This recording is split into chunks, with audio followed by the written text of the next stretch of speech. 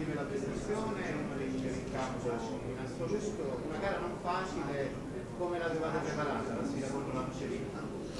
No, sicuramente non era una partita facile perché sapevamo che era una squadra che giocava a calcio, eh, infatti ci hanno messo subito in difficoltà, però siamo stati bravi a rimanere in partita fino alla fine e portare il risultato pieno a casa.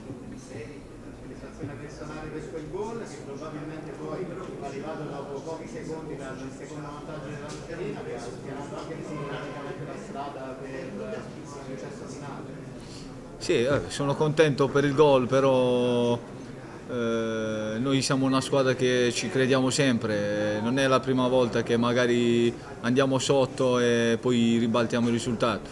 Eh, siamo stati bravi a crederci, abbiamo trovato subito il pareggio e poi, poi è arrivata la vittoria, siamo contenti.